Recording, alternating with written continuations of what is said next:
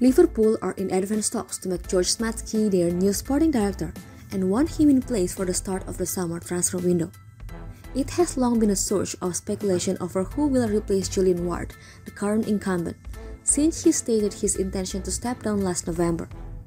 Liverpool had been linked with a number of candidates, including Paul Mitchell, who is currently with Monaco.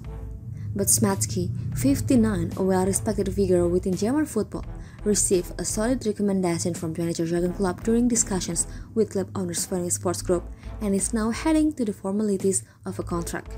There had been some suggestions that Schmadtke was being brought in on a consultancy basis, but that is not the case and it is expected he will sign a three-year contract that runs to June 2026, the same month that Klopp's deal runs out.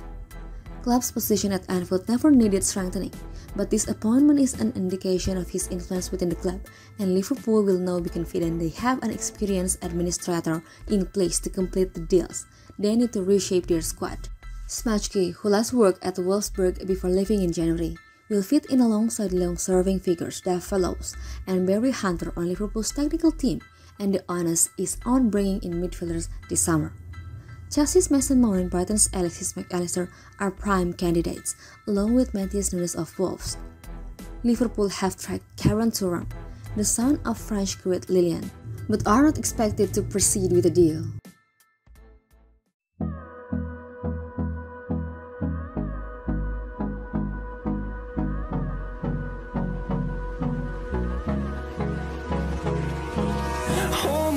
Till I get up